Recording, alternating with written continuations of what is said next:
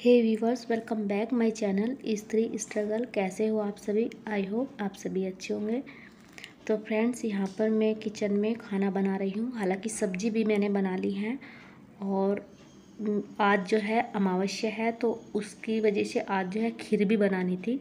तो खीर भी जो है मैंने बना ली है। बस अब मेरी रोटियाँ सेकनी बाकी है और आज जो सुबह का शेड्यूल था, वो थोड़ा सा बिज़ी था। इसी वजह से कि मुझे कुछ एक्स्ट्रा बनाना था आइटम, खीर बनानी है तो उसमें थोड़ा सा जो है टाइम लगता है तो इसी वजह से जो है मैंने पहले से सूट नहीं किया, बस मैं फिर जब रोटी बनाने लगी तो तभी मैंने सूट किया है। और यहाँ पर खीर भी जो है मेरी बन चुकी है और खीर को जो है मैंने जल्दी बनाने के लिए कुकर में बनाया है।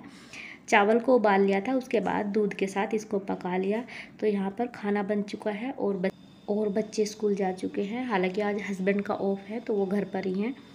और यहाँ पर जो है मैं सबसे पहले अपने किचन की ही क्लीनिंग करूँगी, बाकी के बाद जो है फिर बाद में करूँगी।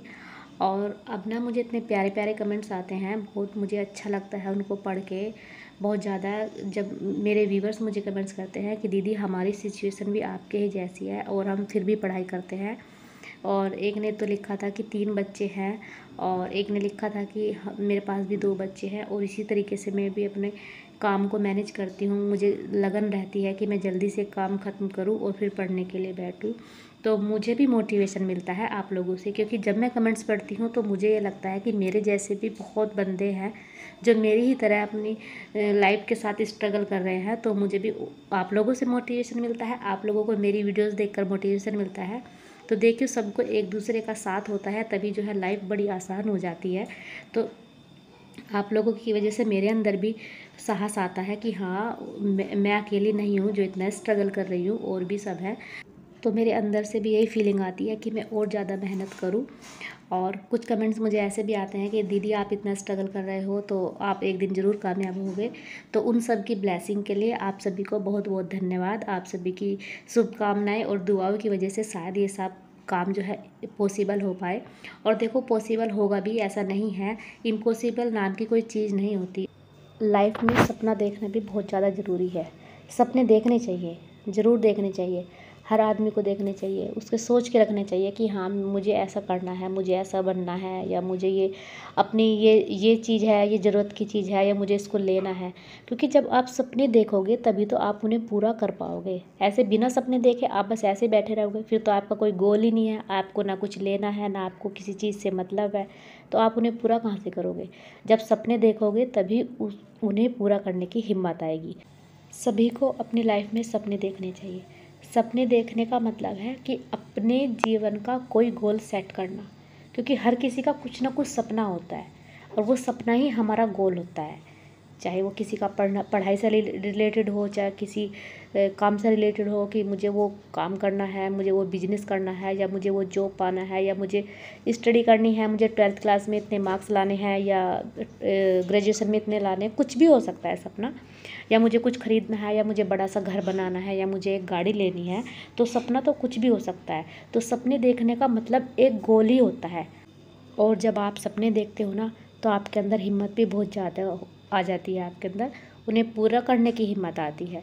तो फिर आप खुद पे खुद ही अपने सपनों पर, अपने गोल पर काम करने लग जाते हो। आपको किसी की ज़रूरत नहीं पड़ेगी कि आपको कोई मोटिवेट करेगा कि आप करो, इस काम को करो, कोई आपसे ज़बरदस्ती कराएगा। नहीं, जब आपका एक गोल सेट होगा और आपने कोई सपना देखा होगा तो आप उसके लिए खुद ही, खुद पे ही खुद काम करोगे। आपको किसी की ज़रूरत नहीं पड़ेगी। और मोटिवेशन की बात रही तो मोटिवेशन तो सबसे बड़ा मोटिवेशन अपने आप से ही मिलता है। आप किसी को भी देख लो, अपने लाइफ में, अपने पूरे परिवार में आप किसी को देख सकते हो कि मोटिवेशन आपकी, अगर आप के मम्मी पापा स्ट्रगल कर रहे हैं अपनी लाइफ में तो वहाँ से भी आपको मोटिवेशन मिल सकता है कि मेरे मम्मी पापा स्ट्रगल कर रहे हैं तो शायद मैं ऐसा स्ट्रगल ना करूँ और अपने मम्मी पापा के के लिए कुछ कर पाऊँ जीवन में तो वो भी एक बहुत बड़ा मोटिवेशन होता है। किसी चीज़ की कोई ज़रूरत हो आपके पापा को, आपकी मम्मी को या आपको आपको, लेकिन आप जो है उन ज़रूरत की चीज़ों को नहीं ले पा रहे हो। आप अपने मम्मी पापा की ज़रूरत को पूरा नहीं कर सकते या आपके मम्मी पापा आपकी ज़रूरत को पूरा नहीं कर पा रहे हैं। तो इससे बड़ा मोटिवेशन क्या होगा? यही सबसे बड़ा मोटिवेशन है कि तभी अगर आप कोशिश करोगे और सोचोगे कि नहीं, जितना स्ट्रगल मेरे मम्मी पापा कर रहे हैं, अब जब तक जो इन्होंने स्ट्रगल करना था, इन्होंने कर लिया, अब आगे मैं इनको ऐसा नहीं करने दे, दूँगा। तो ये सबसे बड़ा जो है मोटिवेशन होता है। अपने आप को देखकर, अपने मम्मी पापा को देखकर, अपने आने वाली पीढ़ी को देखकर, अपने बच्चों को देखकर, ये देखो, जो मेरे, मेरा वीडियो है, ये वीडियो सभी के लिए है। ऐसा नहीं है कि हाउस वाइफ के लिए ही है। ये हाउस वाइफ के लिए भी है, ये जेंट्स के लिए भी है, ये स्टडी करने वाले बच्चों के लिए भी है, सभी के लिए है। अगर आपको मोटिवेशन चाहिए तो सबसे पहले अपने आप को देखो, अपने मम्मी पापा को देखो, अपने पूरे घर के बारे में देखो कि हाँ किसे, किस चीज़ की ज़रूरत है, और उन्होंने आपसे क्या उम्मीद लगा के रखी है। अगर आप बच्चे हो, अगर मेरा वीडियोस देख रहे हो तो आपके मम्मी पापा ने आपसे क्या उम्मीद लगा रखी है। तो बस, अगर आपको वो बात समझ आ गई ना तो सबसे बड़ा मोटिवेशन वही है और उस दिन ना आप अपनी लाइफ में कुछ कर जाओगे। अगर आपने एक बार भी ये जान लिया कि हाँ हमारे मम्मी पापा ने इतना संघर्ष किया है अपनी लाइफ में और अब मैं उनको ये संघर्ष नहीं करने दूँगा या नहीं करने दूँगी, आपके बच्चे भी हो सकते हैं आने वाले टाइम में कि ना मेरे बच्चे इस तरह का संघर्ष देखें, झेलें कुछ भी तो ये सबसे बड़ा मोटिवेशन होता है। और बस यही था मेरा आज का छोटा सा वीडियो। और यहाँ पर बातों बातों में देखो, मैं अपनी कंटिन्यू स्टडी भी कर रही थी। आई होप आप भी अपनी स्टडी जो है कंटिन्यू कर रहे होंगे।